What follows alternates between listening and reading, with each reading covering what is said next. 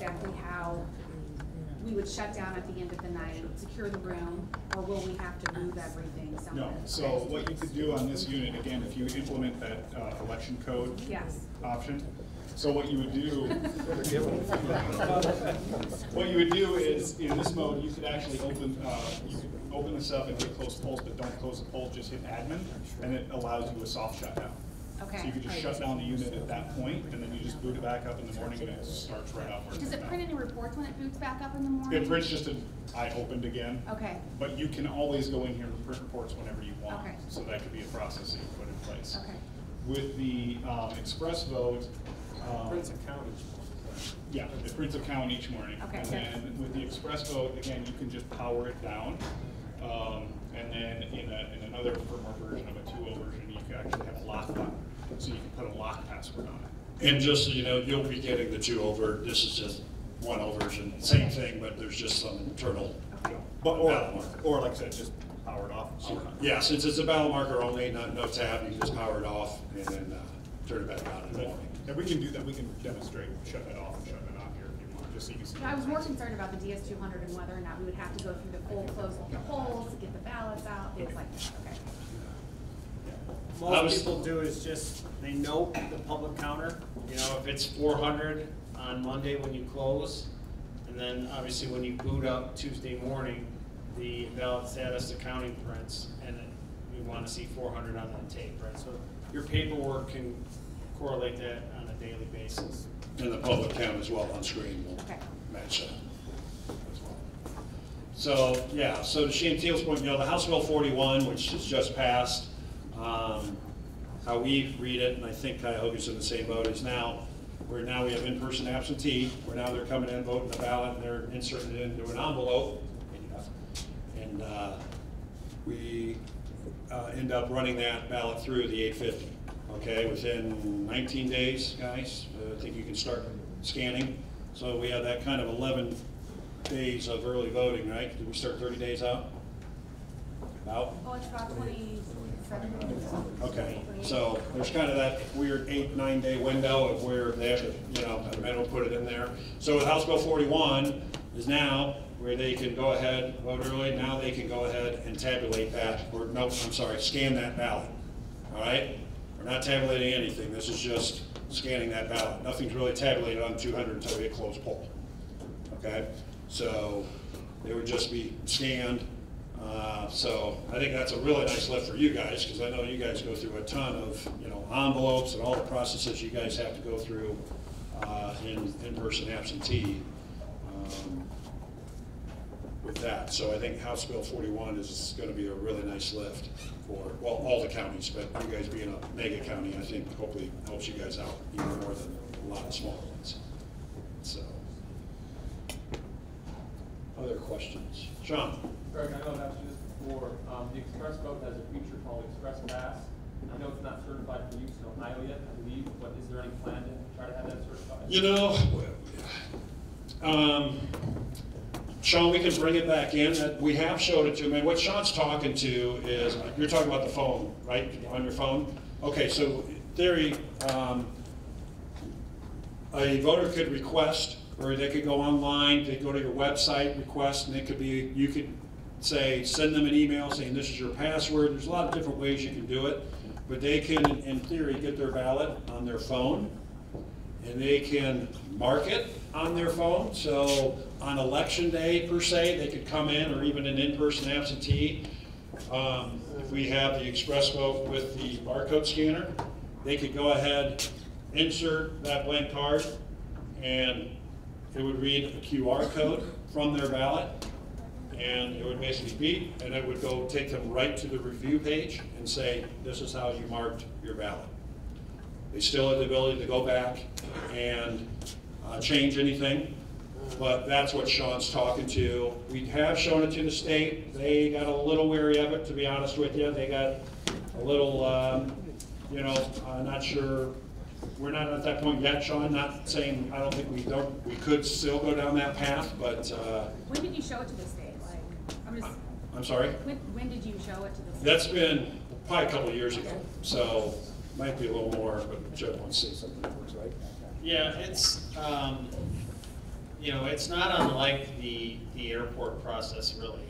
Um, You know, it's just a, a way of viewing your sample ballot before election day and basically, um, you can do that today, right? You can go online, view the PDFs of the ballot, you could print it out from home, could circle your choices, so you know who you wanna vote for. It's very similar process on the phone. You, you can't cast it from your phone, and it's not electronic voting. You, you obviously, much like the airport, you still have to check in at a poll site. They still have to determine that you are a registered voter in that precinct. And they still have to issue you the paper card. You need all of those elements to take place before you can use that on the phone feature. So it's secure, but I, I think Stretch is right that, you know, um, most states are just a little wary still. They're like, oh, you know, that seems like a good idea, but we're not sure. So um, that functionality is there and it can be added to your voting model at any time the state were to say, you know what, it's okay. So you don't have to spend extra to do that. You know, if you've got the barcode built into the, the reader, you can do that at any time, so. And I think one other thing on that, you know, I, I think a lot of the uh, fearfulness going that direction was potentially vote buying, right? You say, hey, show me how you mark that ballot.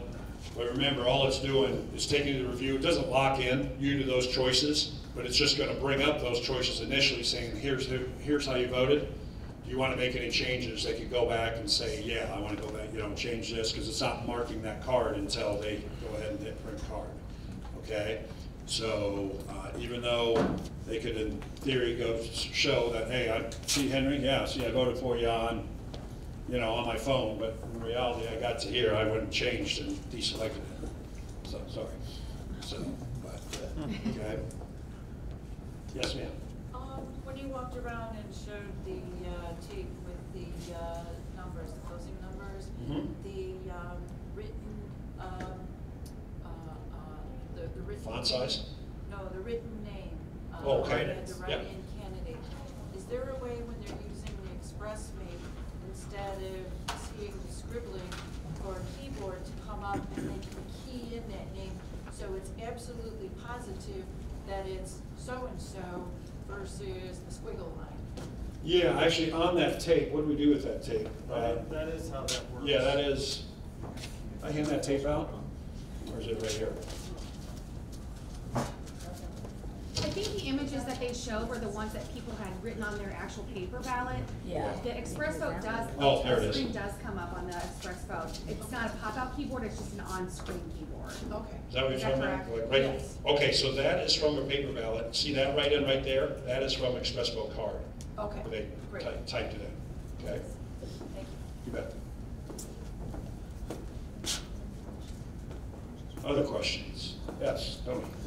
And I don't know, I can't remember if it was Judd or you, a little bit about the um, ballot stock printer that would uh, would work with Tenex's poll book to print the precinct on there. So that's a ES&S printer That is an ES&S printer, that yes. connects to something, Yes, I'm gonna or let Judd to. speak to that. We actually have uh, that over here. We can show what it looks like, Tony, I think it's in, yeah. Yeah, sorry, don't get too close to the speaker. I was supposed to give that warning earlier, I forgot. And is that, is- do you know why he's getting that out? Yeah. Is that a Schedule A or B item? That's a Table B item. Table B item. Yeah, boo, sorry. Uh, Judd's grabbing it, so you can kind of see, um, it's a really nice little printer, though. Um, Basically, it's a peripheral, and it's, uh, you'll see, it's, it's, uh, never really jammed, so card goes in, this is a thermal printer as well. This can hook up to your poll book, or it can hook up to, uh, if you do, uh, in-office voting via your voter registration system. Obviously, this can hook up to a laptop, a PC as well.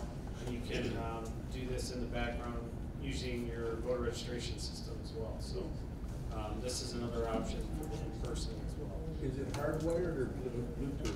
Hardwired. hardwired. Okay, so basically, card would just get fed in, they would grab it, pull it in by about an inch and a half, lay down the barcode and spit it back out. Nice thing, very small, you know, there's, had great luck with this printer, no real issues, doesn't jam, uh, does a really nice job of just laying down the barcode that represents that voter's ballot cell. Yeah, and what's nice about this again, uh, you don't have to worry about toner, ink, consumables, it's thermal. And Just so you, it's incorporated with Tenex right now? Yeah, so Tenex has completed their, uh, development on this, they have a, uh, it's a Bluetooth device that acts like a print hub basically, and the iPad sends a command to that, that device, and then prints to the, uh, Express Vote printer. Okay. Other questions? Back DS two hundred, Yes, sir. uh, see, you have a voter rips the ballots.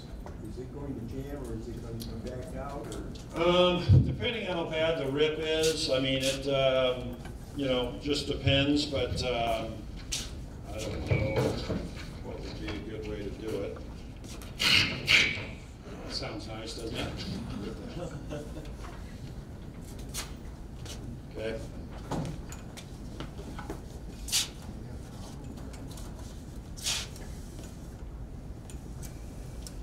Spits it back out. And says ballot too short, please remove ballot, okay? So depending, because obviously, as you guys all know, you know, it's looking for these timing tracks around to detect what uh, ballot cell is, what precinct it belongs in, all that. So if it can't determine that, it's just gonna spit it back out. So if it does jam, obviously, uh, you know, you guys are used to clearing jams on the 200. Hopefully, this is gonna jam